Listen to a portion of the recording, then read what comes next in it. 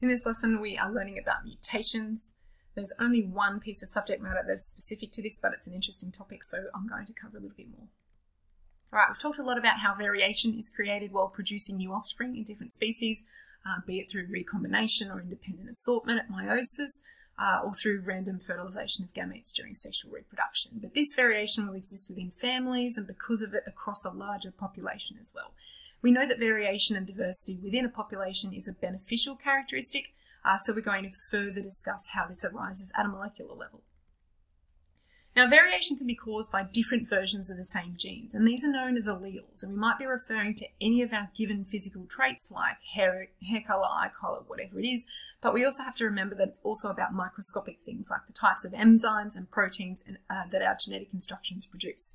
So the genotype is all of the genes that an individual possesses, whereas the phenotype are the things that are displayed, right, the physical features that are displayed, and any changes that lead to the variation in a gene relative to the original base sequence leads to new alleles, and this is known as mutation.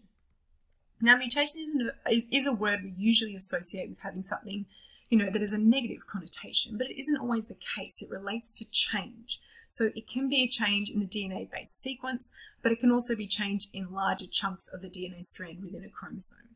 Now, they can arise spontaneously due to DNA replication errors in S phase, due to cell division, or they can actually be induced by some kind of disturbance. And these disturbances can be physical, chemical, or biological, and they're known as mutagens. We'll be discussing changes in the DNA sequence in this uh, lesson, uh, and there'll be more on chromosome abnormalities in future lessons. Now, most mutations in the DNA base sequence are detected and corrected by enzymes during DNA replication. Now, those that don't get picked up in this manner are pretty rare, um, and they can go one of three ways. So they can be uh, leading to harmful results, they can be neutral or lead to no change, or they can actually be beneficial to an organism. Now, there are huge databases that currently exist that are added to frequently, which can help determine whether a mutation that's found in a human patient, for example, will be harmful or not.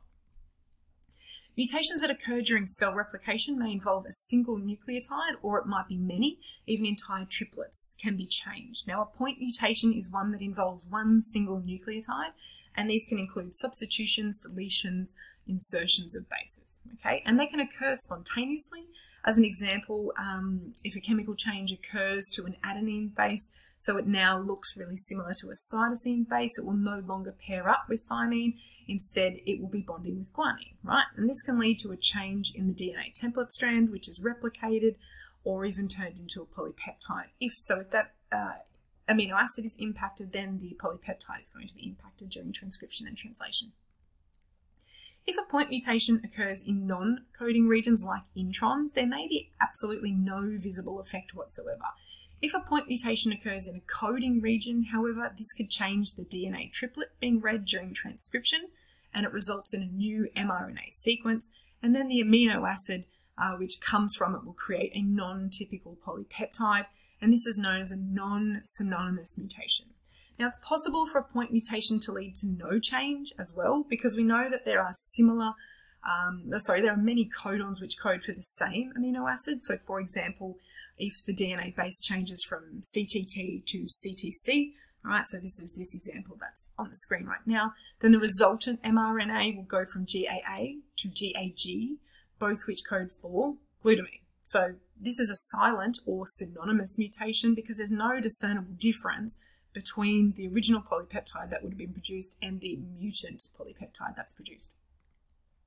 Now, if a point mutation occurs, um, you know, that creates a premature stop codon, then no more amino acids will be produced following along on that polypeptide chain. And this is going to stop that entire sequence from being produced. And this is called a nonsense mutation. If a base is inserted or deleted from a DNA sequence, um, this is going to change the starting point from where those bases are read, meaning the entire sequence after that point of insertion or deletion will be altered. And this is known as a frame shift, and it can happen with one or a few bases, um, and it's most likely going to change the polypeptide that's produced.